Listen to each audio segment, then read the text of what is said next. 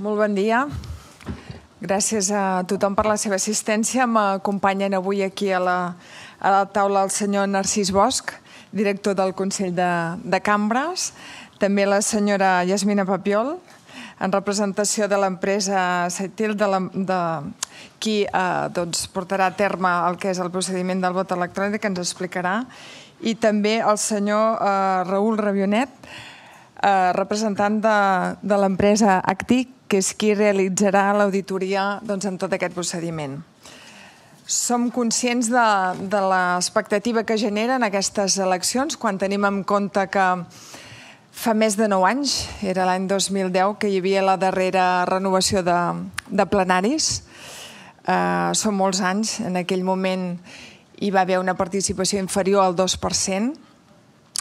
Enteníem des del, des del govern, des del Departament d'Empresa i Coneixement, eh, que una de les tasques que havíem de fer immediates era doncs, eh, la, el foment d'aquestes eleccions, igual que ja els aviso també, un cop eh, s'hagin constituït els plenaris, tinguem la nova composició de les cambres eh, de manera també immediata, i aquest va ser el meu compromís, eh, procedirem a, a, acabar el que és la, la llei de cambres, que ja tenim eh, doncs, bastant acabada. Per tant, doncs, les cambres de comerç han, han patit al llarg d'aquests anys doncs, un canvi en el que és el model econòmic, amb la desaparició del recurs eh, cameral, també canvis eh, jurídics i ara haurem de determinar en aquesta llei de cambres doncs, eh, tant aspectes com les seues funcions, com el seu finançament, etc etc. Per tant, doncs, eh, anuncio també aquest compromís que de manera immediata, eh, un cop eh, constituït els plenaris, doncs, es procedirà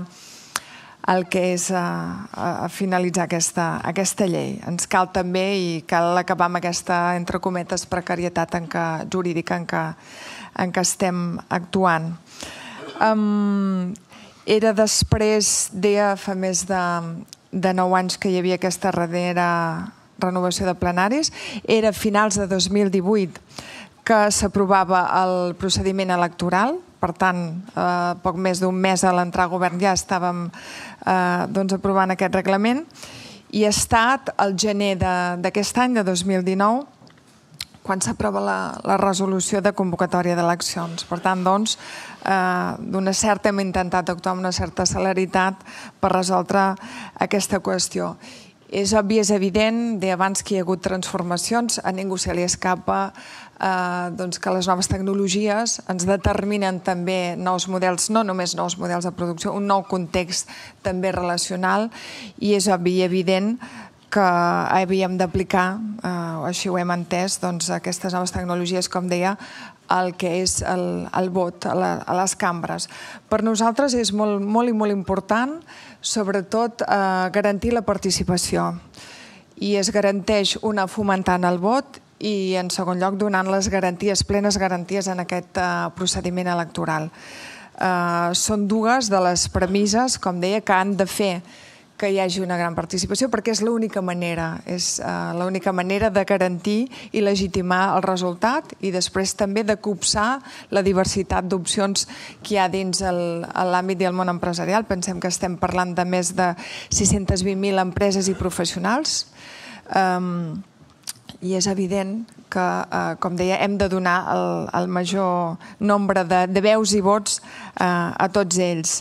Les uh, possibles reticències no, no tenim per què amagar-ho, que aquest uh, vot electrònic havien despertat en un moment inicial, repeteixo, entenem, eh, perquè estem trencant una certa tradició, però uh, immersos en el context que, que estem doncs, no tenen jo crec que no tenen cap mena de, de lògica.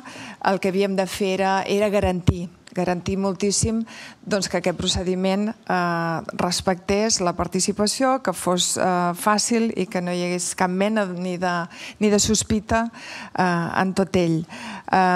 Saitel és, eh, jo crec que eh, conegut per tothom, és líder mundial en, en l'ús de noves tecnologies en processos electorals. De fet, eh, va introduir el vot per internet als Estats Units. Jo penso que és una empresa més que, que contrastada i, evidentment, Àctic eh, després ens explicarà no, aquesta doble auditoria que hem volgut fer, eh, totalment garantista, com deia, per eh, que ningú tingui cap dubte ni d'aquest procediment ni del seu funcionament.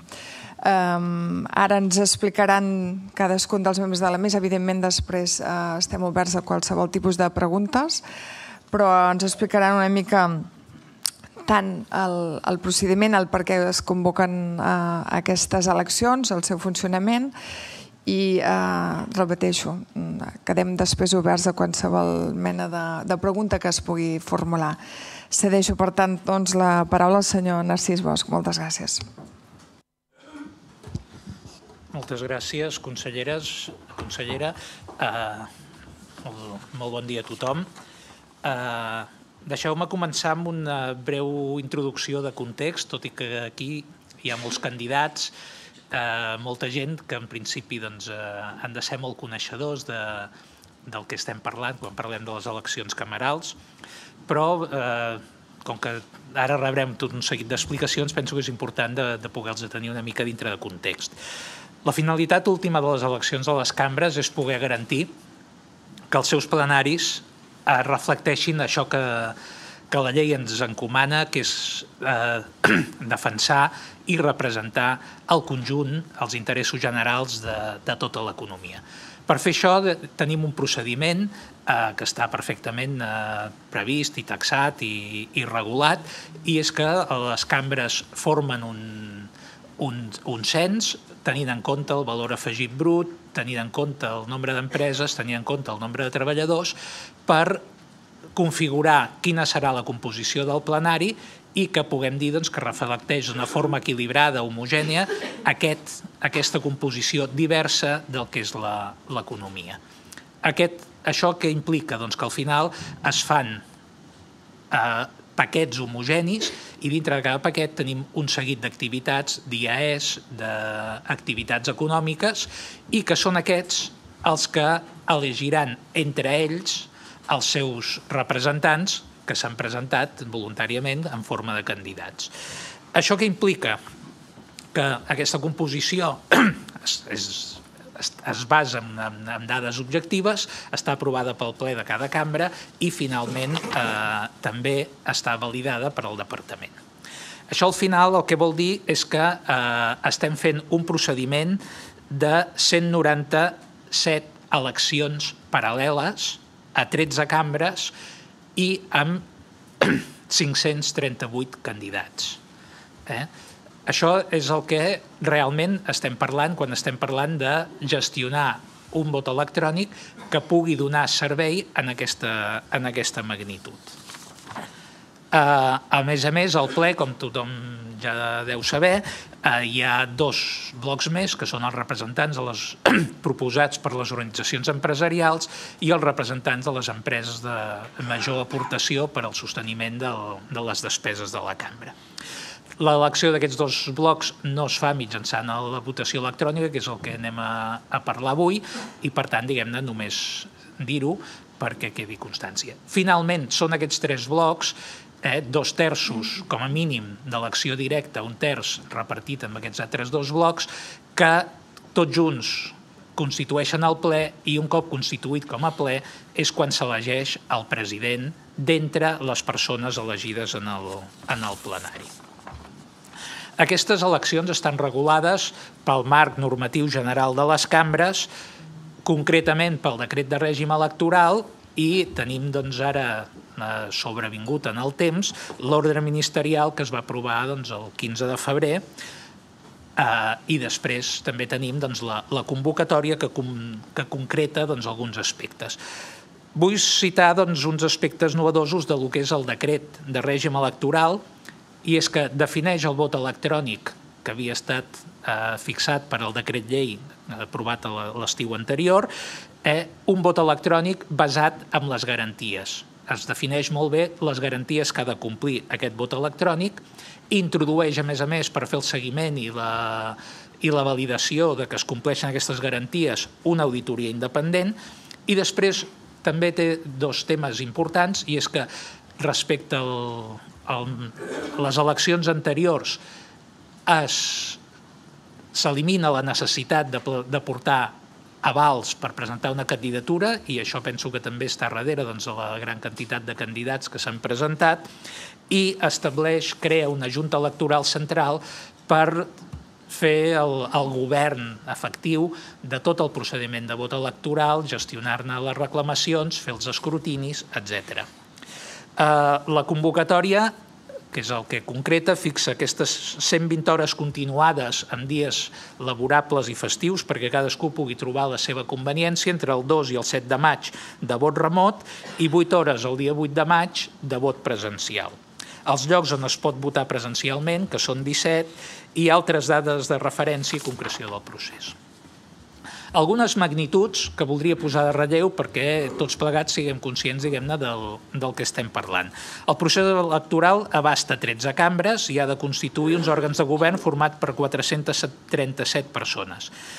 D'aquestes, 298 són per sufragi directe dels electors. Aquestes 298 persones es distribueixen en 13 cambres i 197 grups o categories, o, si escau, subcategories. Cada grup o categoria és una elecció independent de les altres. Tothom que és al cens pot votar, però només ho pot fer en el grup o categoria del qual forma part. Si un grup o categoria, el nombre de candidats és igual que el lloc de cobrir, la Junta Electoral Territorial els declara electes i en el grup o categoria no se celebren eleccions. Això el que ens ha portat és que eh, no hi ha votacions a 119 grups i que hi haurà 78 grups que sí que aniran a elecció. Això suposa que dels més de 600.000 potencials votants passem una xifra del voltant dels 500.000. A sis cambres no hi haurà votacions per haver-se consensuat les candidatures a tots els seus grups o categories pels agents del territori. Concretament parlem de Palamós, Reus, Tarragona, Tàrrega, Tortosa i Valls. En total, les juntes electorals van proclamar 538 candidats, 164 ja han estat declarats electes per 119 grups o categories. Pels 78 grups restants hi haurà 374 candidats a cobrir les places que, que s'han de cobrir. Per ordre de candidats corresponen a les cambres de Barcelona, Lleida, Terrassa, Manresa, Sabadell, Girona i Sant Feliu de Guíxols.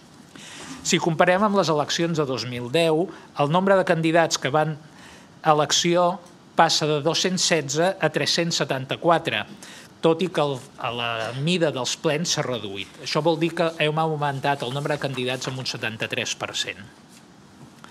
Com hem dit, es preveuen 120 hores de votació remota en la que tothom amb un certificat digital, el DNI electrònic, que no deixa de ser un certificat digital, podran votar i que és on nosaltres esperem i encoratgem que hi hagi el gruix de la participació. Tanmateix es preveuen 17 punts de votació en els que hi haurà 25 equipaments per les meses electorals i 57 equips de votació amb un reforç de personal, a més a més del personal de les cambres, per atendre els electors de 20 persones. A les webs de les cambres hi ha informació i es posarà en marxa el portal de l'elector amb informació de suport, que en les dates d'elecció remota donarà accés al portal de votació i que en posterioritat servirà perquè l'elector que vulgui pugui verificar que el seu vot es va introduir correctament a la urna a partir del rebut de votació. A més, seguint instruccions del departament, eh, ja que això és un, és un tema diguem-ne que està en marxa en aquest moment, eh, es dona la possibilitat als candidats de subministrar informació addicional a la que per, a la que es donarà difusió per tal de que ajudin a identificar i conèixer més bé els candidats i les candidates. Per completar el dispositiu de suport s'habilitarà un servei d'atenció telefònica per, i per correu electrònic durant les votacions per atendre qualsevol dubte o problema. Mentre les cambres, com ja estan fent, atenen els candidats i electors en totes les fases del procés electoral. De tota manera, i això ho explicarà més bé la, la Yasmina i en, i en Raül, el sistema és simple, intuïtiu i accepta multitud de certificats i funciona amb els sistemes operatius i navegadors habituals. Qualsevol persona que hagi fet una gestió a internet abans se'n sortirà de fer emetre el seu vot sense cap problema. Doncs passaríem a... No, moltes gràcies. Doncs uh, passaríem ara la paraula a la senyora Yasmina Papiol, si us plau. Gràcies. Bé, doncs a continuació us presentarem el sistema de vot que s'ha dissenyat, com ja hem dit, perquè sigui un sistema fàcil d'utilitzar, transparent i segur.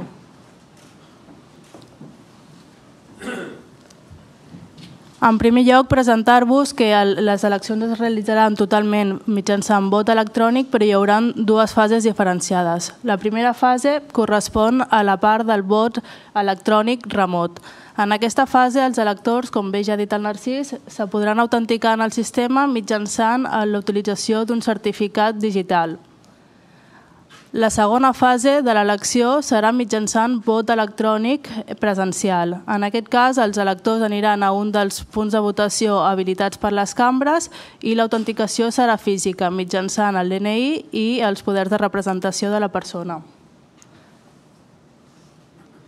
En el primer cas, en el cas del vot eh, electrònic remot, l'elector tindrà a les webs de les càmeres un enllaç prèviament ja als dies de l'elecció que li permetrà anar al portal de l'elector. Aquest portal de l'elector contindrà eh, contingut informatiu sobre el sistema de votació, com bé el, el manual del votant, preguntes freqüents i coses similars. Durant l'elecció, a partir del dia 2, s'habilitarà un enllaç que permetrà que els electors accedeixin al sistema de votació electrònica. Un cop dins del sistema de votació electrònica, el primer del pas serà autenticar l'usuari. Un cop autenticat a l'usuari, se li mostraran aquells grups i, si s'escau, categories i subcategories on l'elector té dret a vot i un cop l'elector seleccioni on vol votar, podràs eh, veure la butlleta on hi haurà tots els candidats i l'opció de vot en blanc. Més endavant veurem un, un vídeo sobre el sistema de votació en si. Un cop hagi emès el vot, també veurem que hi ha un rebut de votació que, com bé ha dit el Narcís, posteriorment li servirà per verificar que el seu vot ha estat eh, introduït a la urna i està en els resultats emesos. La segona part de l'elecció, que és la part del vot eh, presencial, l'autenticació es realitza físicament, l'elector haurà de portar el DNI o bé passaport i els poders de representació, es verificarà que eh, té dret a vot, hi haurà un primer ordinador on hi haurà una mesa electoral on es verificarà que aquesta, aquest elector té dret a vot, és a dir, que encara té algun grup, i si s'escau categoria o subcategories, pendents de votació. En el cas on encara tingui una elecció pendent de votar, en aquest elector se li assignarà unes credencials en el sistema i se li entregarà les credencials en un sobre sec, en un sobre tancat. Amb aquest sobre, a l'elector es dirigirà a un segon ordinador que es coneix com a quios de votació, on podrà introduir les credencials que acaba de rebre i acabar d'emetre els vots que desitgi. Ara veurem un vídeo del sistema de vot. En aquest cas correspon en el sistema de votació presencial on s'autentica l'elector mitjançant usuari i contrasenya. L'usuari tindrà, l'elector tindrà un sobre amb usuari i contrasenya que quan arribi l'ordinador introduirà en el sistema.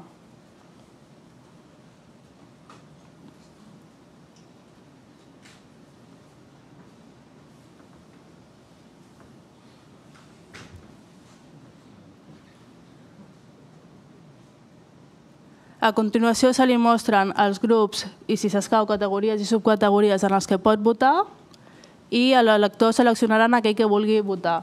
Es veu l'estat on encara està pendent de votar, es pot votar tant en català com en castellà i procedirà a votar.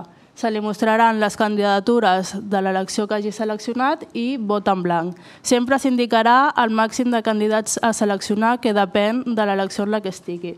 Si selecciona més dels que són permesos, el sistema mostrarà un error per tal que corregeixi abans de continuar. Un cop seleccionat, veurà el que té seleccionat i pot bé canviar el vot o bé continuar. Per continuar, seleccionarà una declaració responsable i un cop a més rep el rebut de votació. Un cop votat, el sistema ja li mostra que està votat aquella elecció i ja no pot tornar a emetre cap vot. Pot continuar votant o bé sortir del sistema.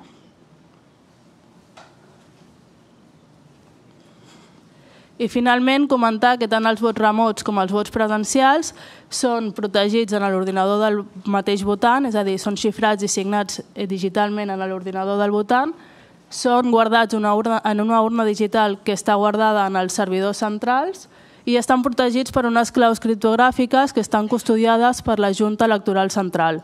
Per obtenir els resultats s'haurà de reunir la Junta Electoral Central, farà ús d'aquestes claus criptogràfiques que tindran custodiades i podran obtenir tant els resultats com els rebuts. Els rebuts es publicaran posteriorment a l'elecció per tal que tots els electors puguin verificar si el rebut que havien rebut durant el procés de votació està en el llistat i per tant garanteix que el seu vot està emès correctament. Moltes gràcies.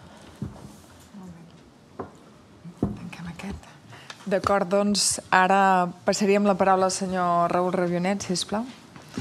Moltes gràcies, consellera.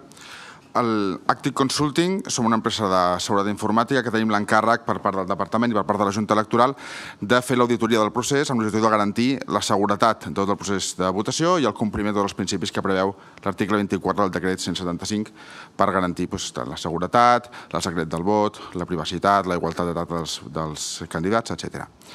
El per fer aquesta feina comptem amb el suport del CSICAT, que s'ocuparà de tots els aspectes de ciberseguretat, i d'un equip d'especialistes en seguretat de la informació, acreditats CISA, que a més tenen experiència dilatada en altres processos de votació electrònica, tant en el món universitari com en el món dels col·legis professionals. Per tant, coneixem suficientment la plataforma de site i altres plataformes similars. Creiem que estem capacitats per fer aquesta feina. El farem aquesta, aquesta auditoria en tres fases i emetrem els altres informes a la Junta Electoral.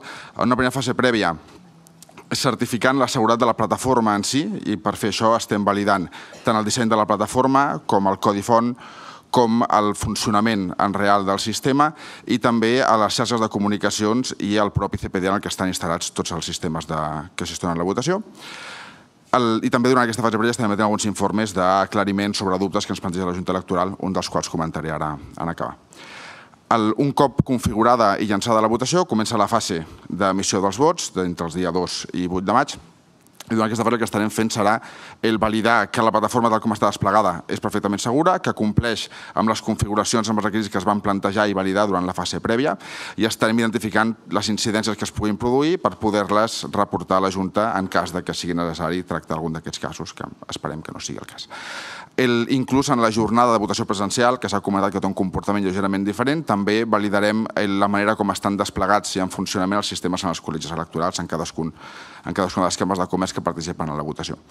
Finalment, hi ha una tercera fase de la nostra auditoria que es produeix un cop tancat el procés electoral en relació amb la fiabilitat del procés de recompte, també verificant qualsevol incidència que es pugui produir durant el recompte i també verificant la correcta destrucció de tots els vots un cop eh, finalitzada tota la, tota la votació i validats tots els resultats.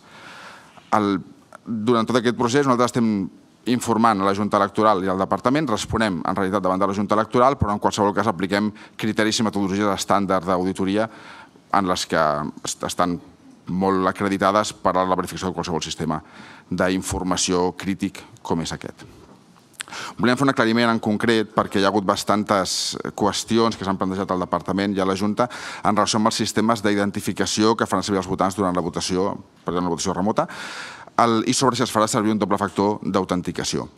En relació amb això, tant el, el decret 175 com l'ordre ministerial que s'ha publicat aquest any el, preveuen la possibilitat d'optar entre un sistema de doble factor o un sistema de certificat electrònic el, el departament ha optat per el sistema més segur, que és el de certificat electrònic. El certificat electrònic és el sistema que generalment està més reconegut com un sistema segur d'identificació per relacions telemàtiques.